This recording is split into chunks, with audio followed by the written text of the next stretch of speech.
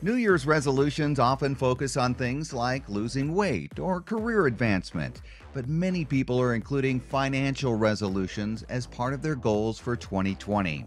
In fact, a recent poll from Chase Bank says that more than 80% of consumers plan to save more money this year. I think with 2020 being a new year, but also a new decade, there's this sort of um, you know, this fire that we've all got uh, kind of, you know, within us to try to make this a really important and impactful year. And if we have been slow to save in the past, this is finally the year that we're going to break those bad habits. Personal finance expert Farnoosh Torabi has partnered with Chase as their financial education ambassador to let everyone know why saving is so important.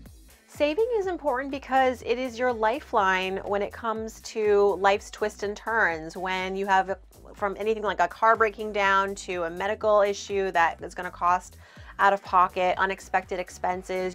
In fact, the JP Morgan Institute says American families should have at least six weeks of expenses saved to ride out financial twists and turns. But for many of us, saving can be a hard habit to start. Yeah, it's overwhelming to think about saving a lot of money. So the advice is to start small and to make it automatic. And, and with uh, the uh, auto save feature on the Chase app, you can save automatically. You can choose the frequency, you can choose the amount.